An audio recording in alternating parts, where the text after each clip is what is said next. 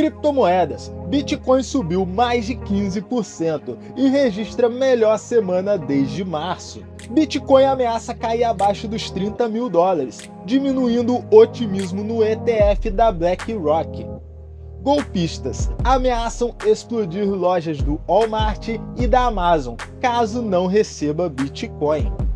BIS alerta que a economia mundial está em momento crítico na luta contra a inflação. Risco de correção das ações dos Estados Unidos poucas vezes foi tão grande, diz Morgan Stanley.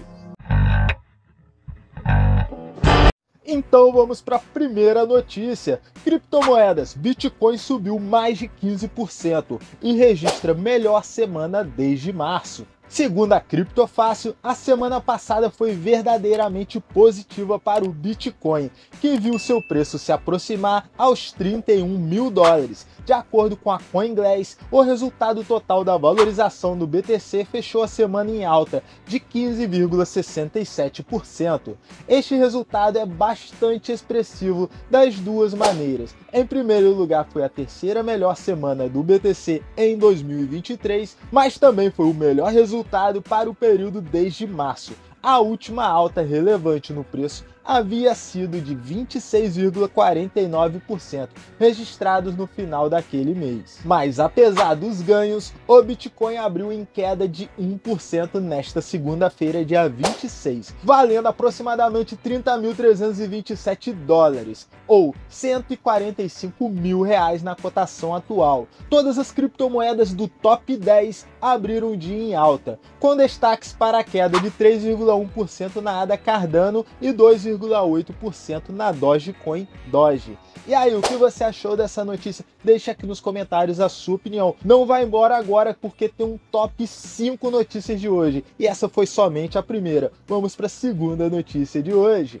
Bitcoin ameaça cair abaixo dos 30 mil dólares, diminuindo o otimismo do ETF da BlackRock. Antes de mais nada, inscreva-se no canal e deixe seu like, você perde muito conteúdo aqui de qualidade não sendo inscrito no canal. Depois de aumentar os ganhos para uma nova alta anual de 31.415 dólares nesta sexta-feira, o Bitcoin se corrigiu ligeiramente no fim de semana e permanece sob pressão na manhã desta segunda segunda, quando a criptomoeda se recupera de uma baixa recente de 30.020 dólares. Vale lembrar que o aumento do BTC e do mercado cripto em geral na semana passada foi alimentado por vários depósitos de ETF de grandes nomes no setor financeiro, como a BlackRock, o Wisdom Tree e Ivesco. Não sei se pronunciei corretamente o nome dessas empresas. No entanto, após a euforia inicial sobre as esperanças de que a SEC validaria esses pedidos de ETF,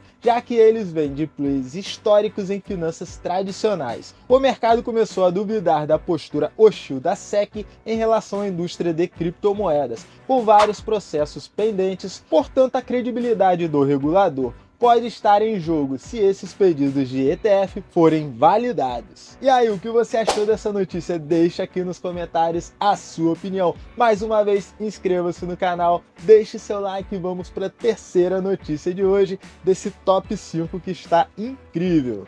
Nos Estados Unidos, as ameaças de bombas são apenas um dos muitos desafios de segurança enfrentados atualmente juntamente com tiroteios, roubos e outros problemas de segurança. Uma série de ameaças de bomba tem alarmado autoridades e varejistas dos Estados Unidos nos próximos meses, levando à intensificação de investigações para identificar os responsáveis pelos atos criminosos. As grandes redes de supermercados americanas como a Walmart e a Whole Foods Market da Amazon têm sido alvo de ameaças em grandes regiões. As autoridades relatam que os golpistas exigem Bitcoin, vale presente ou dinheiro, ameaçando detonar explosivos caso seus pedidos não sejam atendidos. Caraca, que notícia doida. O que, que você achou dessa notícia? Imagina os caras explodirem os supermercados simplesmente porque não deram Bitcoin para ela, ou vale presente, etc.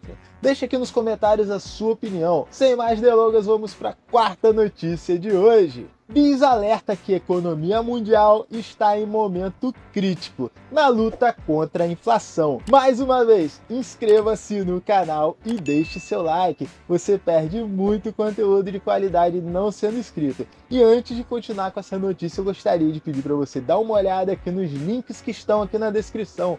Tem um curso maravilhoso que é o curso Metadólar que te ensina a monetizar em dólar através de ferramentas simples da internet. Você faz o curso e depois aprende a ser monetizado com dólar. Também se você quiser ganhar dinheiro extra em real aqui no Brasil mesmo, também o outro não deixa de ser no Brasil, né, que é o Metadólar. Tem o curso Fórmula Negócio Online, que é do Alex Vargas, vai te ensinar a ganhar dinheiro aí com ferramentas simples da internet, como Hotmart, Eduz, fazer propaganda no Google Ads e etc. Se você quiser, te ficou interessado, dê uma olhada aqui nos links que estão na descrição. Sem mais delongas, agora vamos para a quarta notícia de hoje. Bancos de compensações internacionais BIS pediu no domingo mais aumentos da taxa de juros, alertando que a economia mundial está agora em um ponto crucial no combate à inflação. Apesar dos fortes aumentos de juros nos Estados Unidos nos últimos 18 meses, a inflação em muitas das principais economias ainda permanece elevada, enquanto o salto nos custos de empréstimos provocou os mais sérios colapsos dos bancos desde a crise financeira há 15 anos. Vamos para uma declaração abre aspas. A economia global está em um momento crítico. Desafios severos precisam ser enfrentados. Fecha aspas, disse Augustin Castens, gerente geral do BIS. E aí, o que você achou dessa notícia? Deixa aqui nos comentários. A sua opinião é muito importante aqui para o canal. E vamos para a quinta e última e muito importante notícia de hoje.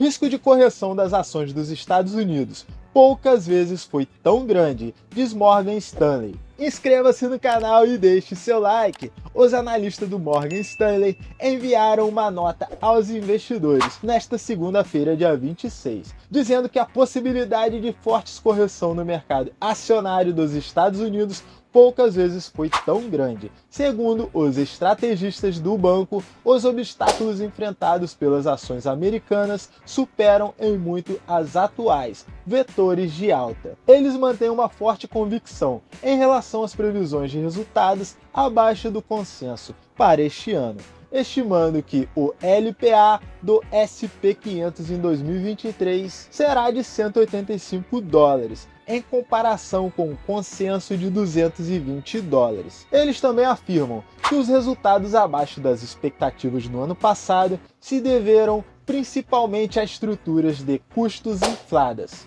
enquanto a demanda da pandemia se normalizava, fazendo com que a próxima fase seja de deterioração dos preços e decepções na receita. E aí, o que você achou dessa notícia? Deixa aqui nos comentários a sua opinião. Aí você tá otimista com o SP500 ou não tá? Porque o SP500 acaba levantando o preço das criptos também. A gente sabe que a cripto era para ser totalmente independente, mas na verdade ela acaba sendo um pouco lastreada aí no SP500. O SP500 está em alta, ela sobe, está em baixa, ela desce e vice-versa, né?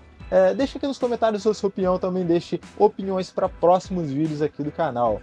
Eu espero que você tenha curtido esse conteúdo. Se você assistiu até aqui, você tem que se inscrever nesse canal e deixar seu like. Você perde muito conteúdo de qualidade aqui no canal. Eu trago ótimos conteúdos sobre criptomoedas, mercado financeiro e vídeos que te ensinam a começar a investir de alguma certa forma. Então inscreva-se, deixe seu like. Aqui do meu lado vão aparecer dois vídeos aqui. Escolha um deles, os dois vídeos estão incríveis. Escolha um deles e continue assistindo aqui meu conteúdo. Tem muito conteúdo bom aqui para você assistir.